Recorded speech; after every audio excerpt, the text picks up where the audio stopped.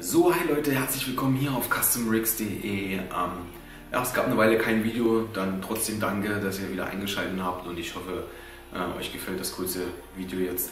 Und zwar, worum dreht sich heute in dem Video? Und zwar dreht es sich heute um diese GTX, äh, GT-Axt, die GT-Axt, ja, damit kann man wunderschön Holz hacken.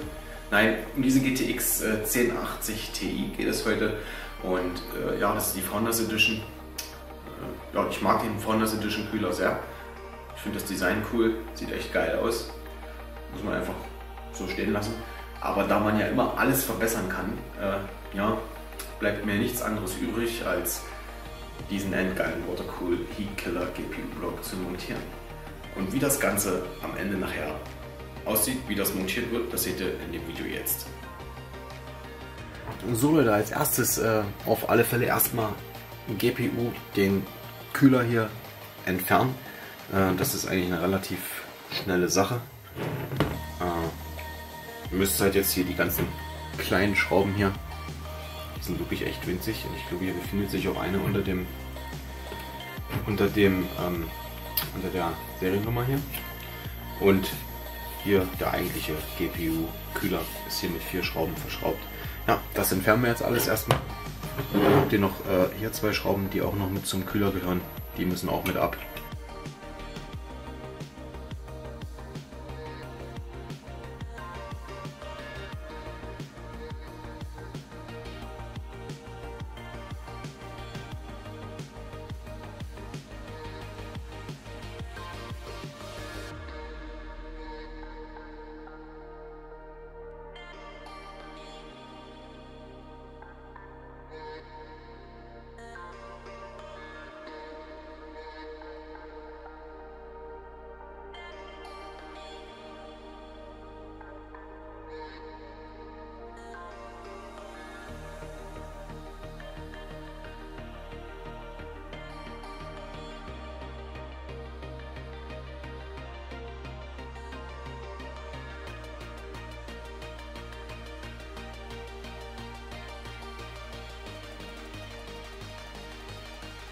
Wir haben ja jetzt eigentlich alles abgeschraubt, aber der Kühler, der geht immer noch nicht ab.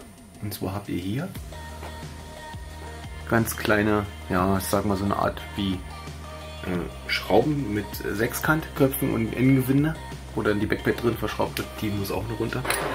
Ich benutze dafür hier so einen kleinen äh, Sechskant-Steckschlüssel. Den mache ich einfach ein bisschen drauf und dann schraube ich die raus. Äh, wenn man sowas nicht hat, äh, sollte man nur bedingt jetzt unbedingt mit der Zange dort reingehen, wenn man hier wirklich sieht, dass wie viele kleine Widerstände sind und so, die man mal schnell äh, wegknacken kann.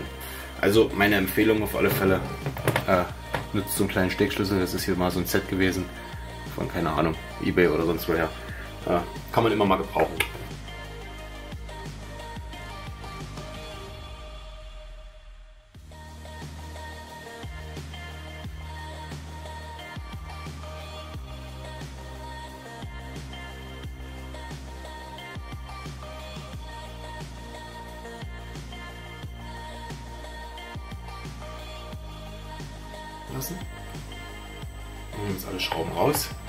Guckt wirklich nochmal, ob ihr wirklich alle Schrauben raus habt, nicht dass ihr jetzt zieht und die Grafikkarte durchbrecht äh, beim Abziehen.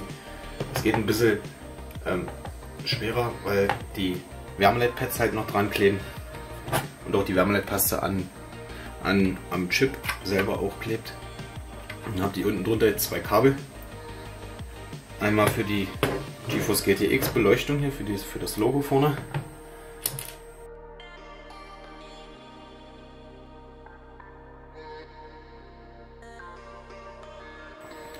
Ja, die äh, Wärmeleitpads, die jetzt hier noch so drauf kleben, die könnt ihr dann versuchen hier wieder mit äh, zurück auf den Kühler zu kleben, dass ihr das komplett äh, wegpackt, dann falls ihr die Karte wieder zurückbauen wollt. Ja. Äh, ich mache das in dem Fall jetzt auch. Natürlich auch ganz wichtig hier, die ganzen kleinen Schrauben alle in Sicherheit zu bringen, bevor die dann weg sind. Die braucht ihr vielleicht später nochmal, wenn ihr die, die GPU wieder auf Luft zurückbaut, warum auch immer, wenn ihr sie verkaufen wollt oder was auch immer. Oder keinen Bock mehr auf Wasserkühlung habt. Mache ich das Ganze immer in so einer Tüte rein, äh, Tüte rein hier. Das kommt dann nachher zusammen mit dem Kühler in eine Kiste rein und dann ja, wird das verstaut.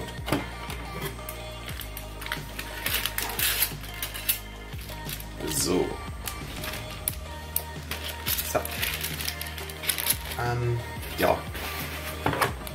Ihr habt jetzt hier ähm, Rückstände von der Wärmeleitpaste, ihr habt Rückstände von diesen Klebepads. Das Ganze machen wir jetzt mal, also von den Wärmeleitpads, das Ganze machen wir jetzt mal ein bisschen sauber. Ja, ihr könnt dafür äh, Alkohol benutzen. Äh, ja, so ein Alkohol, so Reinigungsbenzin oder wie auch immer. Ja.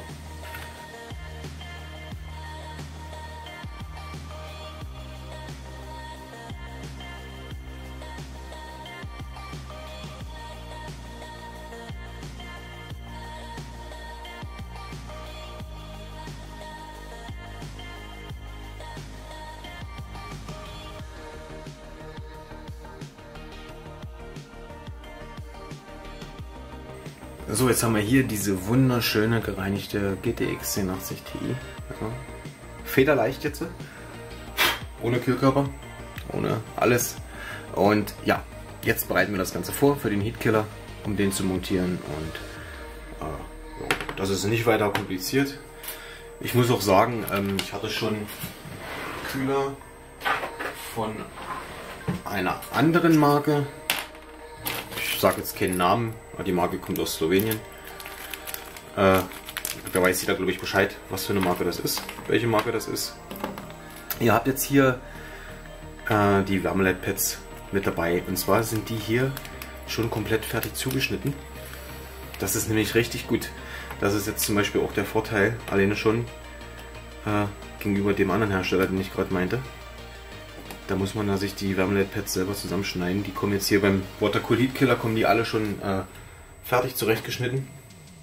Ich habe jetzt hier schon mal hier so ein kleines Skalpell, um hier die ähm, Schutzfolie dann abzuheben von den äh, kleinen Pads.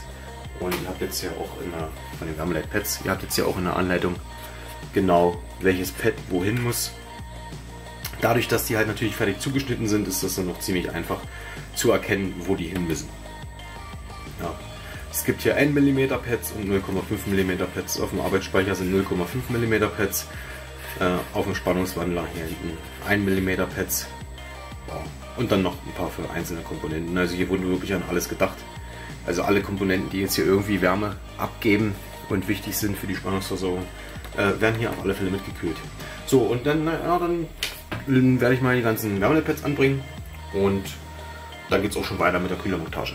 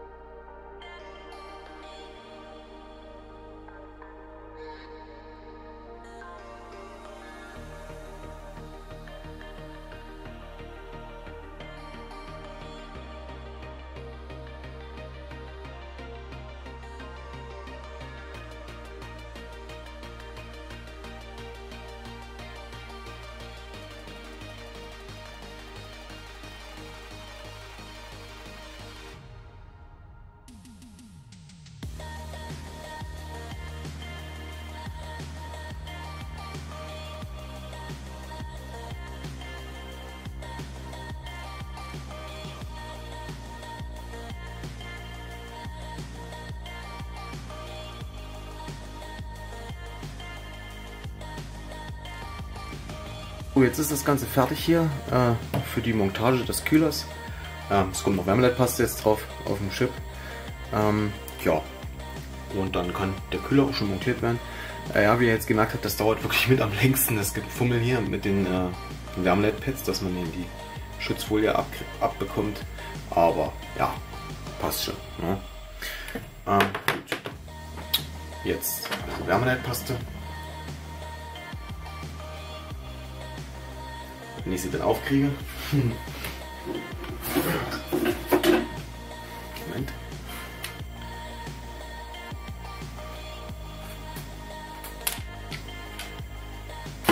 Ich benutze hier die Gillette, äh, Gillette äh, GC Extreme. Die ist eigentlich ziemlich gut. Habe bis jetzt gute Erfahrungen damit gemacht. Benutze ich jetzt eigentlich so fast überall. Ich mache in der Mitte einen dicken Punkt, hier außen noch ein paar kleinere Punkte. Und dann sollte das ausreichen. So sieht das Ganze dann bei mir aus.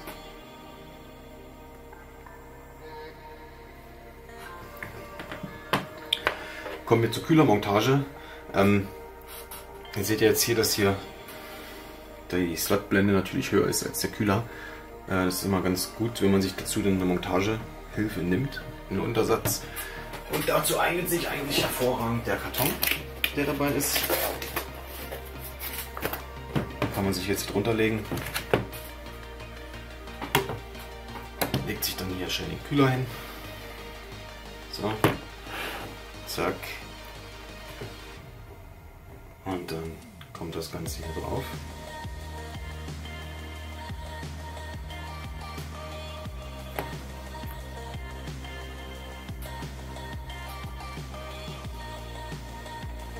Acht drücke ich dann auch auf die Ausrichtung der Löcher, dass das alles passt. Und dann könnt ihr die Schrauben reinmachen. Ich werde das Ganze jetzt hier mit der Backplate verschrauben. Ist in der Beschreibung auch beschrieben, welche Schrauben jetzt man einmachen muss und welche nicht. Bei der Backplate sind nochmal äh, Wärmeleitpads dabei für die Rückseite. Ähm, ja, und ich montiere das Ganze jetzt einfach. Bei den Schrauben habt ihr hier so kleine Kunststoff-Unterlagscheiben dabei. Die dürft ihr auf alle Fälle nicht vergessen. Die sind eben sonst dabei. Das ist damit ihr jetzt der Platine keinen Schaden zufügt beim Festschrauben. Ne? Also die mit drüber stülpen über die Schraube. Denn so ist das Ganze. Und dann fange ich direkt mal an, hier die, den Chip quasi zu verschrauben.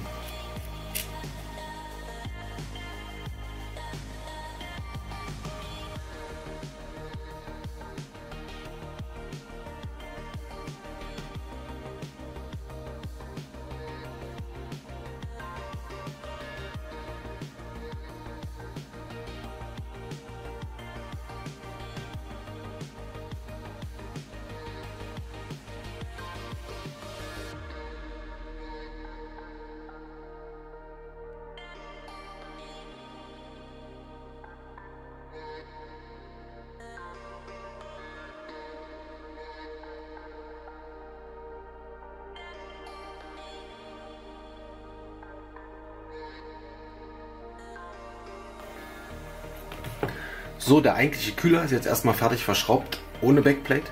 Ja. Und jetzt kommt die Backplate noch drauf und dann ist das Ganze schon fertig.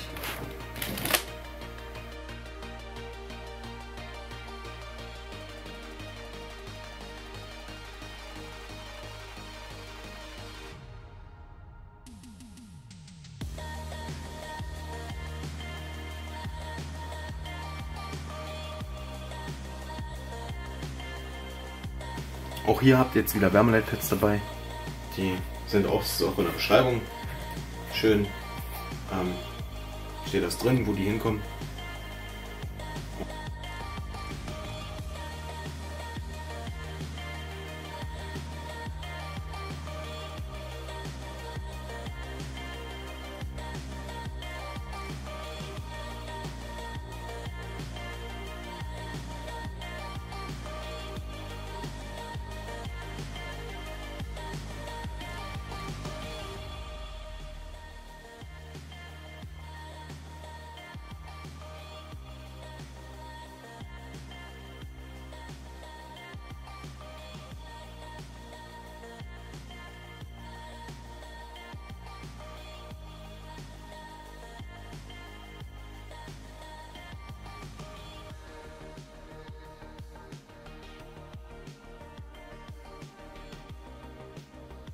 So Leute, da sind wir auch schon fertig. Ähm, ja, ich gebe euch noch den Tipp mit auf den Weg äh, beim Anziehen der Schrauben. Zieht die nicht zu sehr fest an. Ich mache das immer hier so zwischen, ja, zwischen den beiden Fingern mit der Kraft, die ich zwischen Daumen und den beiden oder zwischen den drei Fingern hier aufbringen kann. Das reicht völlig aus. Ihr müsst das jetzt nicht übelst anrammeln, ja, dass sich die Backplate hinten verbiegt. Also man hat jetzt hier auch einen schönen gleichmäßigen Spalt. Ja, das Ganze ist natürlich mega sexy. Also wenn man sich das mal so anguckt, das sieht echt geil aus. Also ich mag den Heatkiller GPU-Block. Äh, ja, vor allen Dingen in dieser äh, Nickel-Ausführung mit dem schwarzen, äh, mit dem schwarzen Acrylfenster, mit dem durchsichtigen Acrylfenster. Äh, ja, wenn man dann halt natürlich farbige Flüssigkeit ver, äh, mit farbiger Flüssigkeit seine Wasserkühlung betreibt, kann man die natürlich dann wunderschön sehen. Vor allen Dingen, wenn man das Ganze dann noch vertikal montiert, habt ihr natürlich optimale Sicht auf den Kühlblock. Ähm, ja, wie bei Watercool üblich, bekommt ihr halt für euer Geld wirklich echt astreine Qualität. Ihr merkt das schon, wenn ihr das in der Hand habt, äh, dass hier wirklich viel Material auch verbaut ist. Und äh, wenn man sich das Ganze mal anguckt, wie das verarbeitet ist, äh, ja, ich will jetzt keine Negativwerbung machen für einen anderen Hersteller. Aber ich hatte halt, wie gesagt, auch schon einen anderen Hersteller, von dem ich vorhin schon mal gesprochen hatte, hatte ich auch einen GPU-Block wie 1080 Ti. Da hatte ich auch Probleme mit einem Anpressdruck. Ja, den musste ich sehr stark festziehen, über, also am, Chips, am Chipsatz auf der Rückseite, äh, um dass der sich überhaupt, äh, dass der überhaupt Kontakt hat zum, zur Kühlfläche. Ähm, das ist jetzt hier bei dem Watercool Heatkiller ist das nicht so. Ähm, ich habe schon einen verbaut, also ist jetzt nicht der erste, den ich hier verbaue. Ich habe schon einen im Betrieb und daher weiß ich auch, dass es hier keine Probleme geben wird, weil er halt wirklich sehr gut konstruiert ist. Ja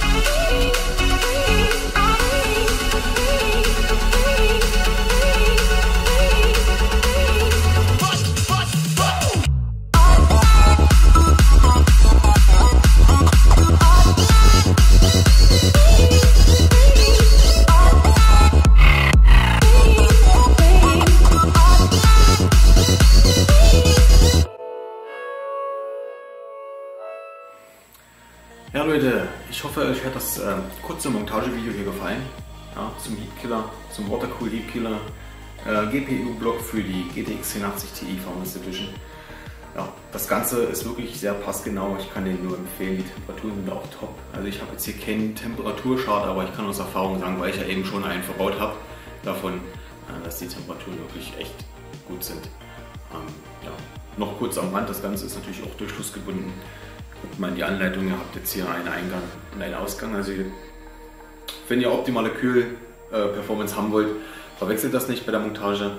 Äh, mir ist das auch schon mal passiert. Habe ich im Bastelwaren nicht dran gedacht und den verkehrt rum angeschlossen. Äh, ja, genau. Ähm, ja, das war es heute für mich auch schon. Äh, dann verabschiede ich mich mit diesem geilen Killer GPU-Block hier auf der GTX 1080 Ti äh, bei euch. Ich bedanke mich, dass ihr wieder eingeschaltet habt und freue mich dann bis zum nächsten Video. Achso, die Karte wird übrigens hier verbaut in meinem aktuellen äh, Projekt, Pur Purple Pill äh, Projekt ähm, Fractal Design Define R6. Ähm, möchte ich diese Woche fertigstellen, wird es auch ein Video zu geben. Äh, ja, ansonsten verfolgt das einfach auf meiner Facebook-Seite. Äh, da lade ich regelmäßig Worklogs hoch zu meinem Projekt.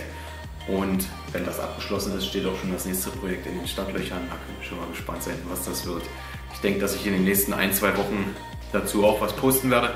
Und verabschiede mich. Dankeschön fürs Zusehen hier auf CustomX.de. Ciao.